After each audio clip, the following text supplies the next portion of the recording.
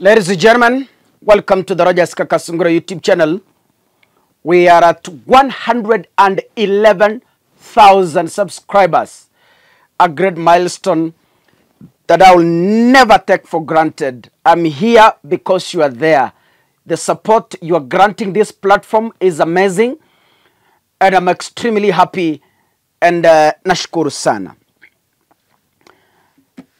I want to assure Kenyans, wherever you are, that uh, the vetting process in Parliament, just like the other time, was meant to waste our time on the screens. It was meant to entertain us Kenyans. It was meant to give us a show of might and wealth that uh, the CS nominees have. The vetting exercise to me cannot be useful or will not be useful to the people of the Republic of Kenya who have been yearning for quality service delivery. It is a decoy. It is a painted way of sanitizing the rotten people. Yani, I don't know how to explain this until you get it. I am saying this because of the nature of the questions that were being asked.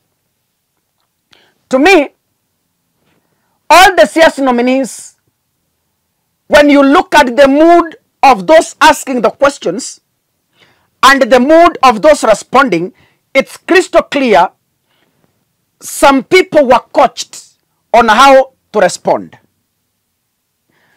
And uh, it seems some people were given those questions early in advance. Wakaambiwa, expect A, B, C, D when you are coming.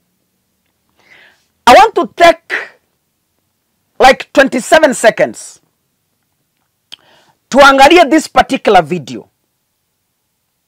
You watch it very keenly. I'll come back to share the results. Has are you aware if any of uh, your former colleagues or staff at the county government of Kakamega have recorded any statements uh, with EACC?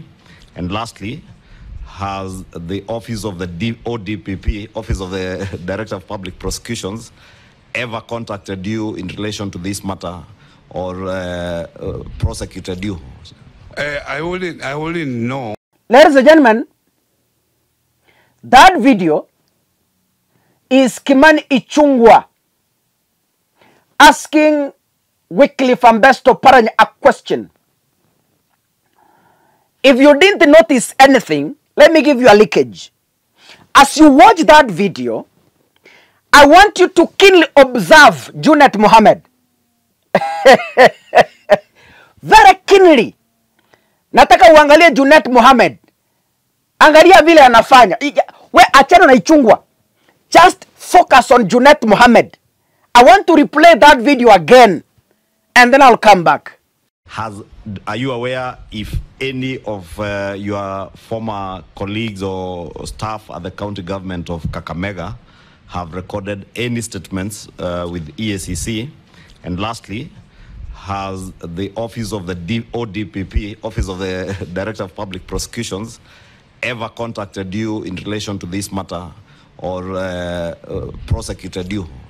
uh, I only, I only know Ladies and gentlemen, from that video clip alone, it tells us that the CS nominees were being coached. If you keenly observed Junet Mohammed, when Ichungwa is asking Wycliffe Oparanya whether he's aware of the case of the corruption case at the EACC, Junet is signaling Oparanya.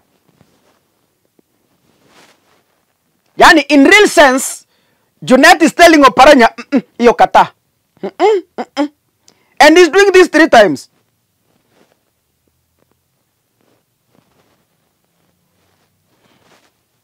That tells what?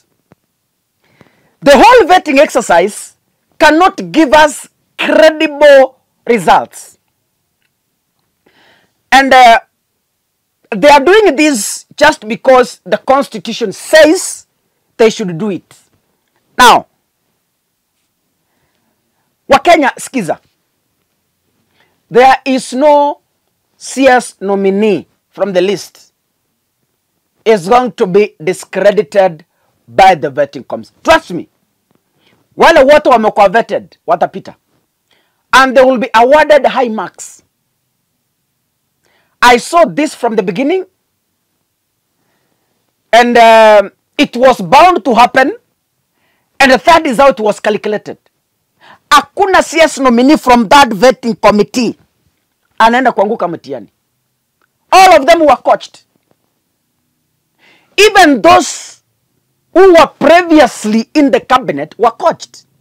That's why unaona ukiangalia wale walikuwa kwa cabinet last time, at least their income has increased by either 1 mi 100 million, 150 million to the highest 200. That is the range. Eh?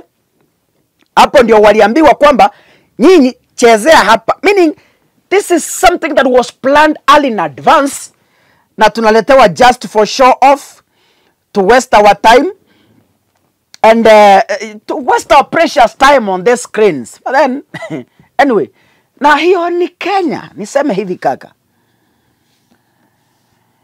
sheria ya Kenya is for the less fortunate.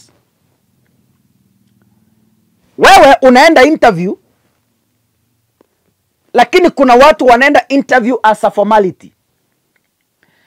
This country is unfair. And it all depends how you know people. It all depends the good rapport you have created with people. Because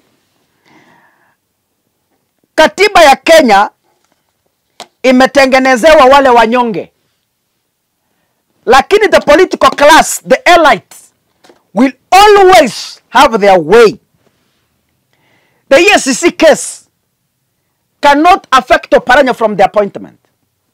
He's already been told how to respond. He has already responded. So, it is going to have little impact on his nomination. God bless you, ladies and gentlemen. See you in the next video. Asanteni sana.